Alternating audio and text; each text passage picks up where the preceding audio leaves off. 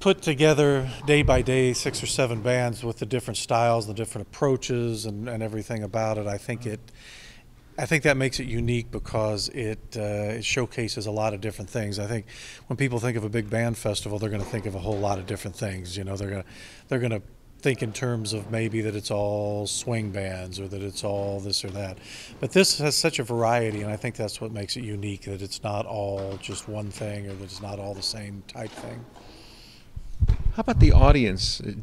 How sophisticated a, a, listener comes to this show? Actually, I've really always been pretty impressed with our audience because, and I think the musicians enjoy it too, because we really do have uh, an audience that really seems to understand and appreciate the music, and it goes back and forth with the musicians where they they know that because the audience reacts to the right things and so on. So it's always been nice that way. It's been great. We've been doing these for a long time, and it's just we've we've been lucky to build up a really really great audience. Over the course of how many days is the show?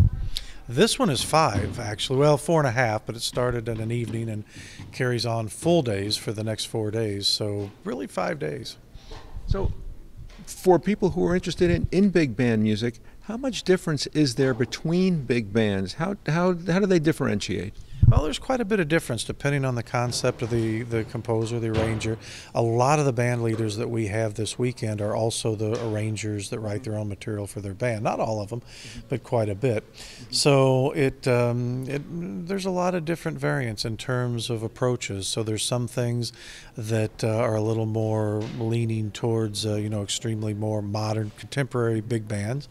There's things that um, are more uh, rooted in the West Coast jazz of the 1950s. There's some things that are more rooted in the swing era, and a lot of things in between that um, that showcase a lot of standard tunes or with with uh, new arrangements of them. A lot of original music this weekend as well. Mm-hmm. So there's a lot of variety, even though we're looking at ensembles that are similar in instrumentation, but there's a lot of variance too. There's a lot of little subtle variance in the instrumentations. The band we just heard had a tuba.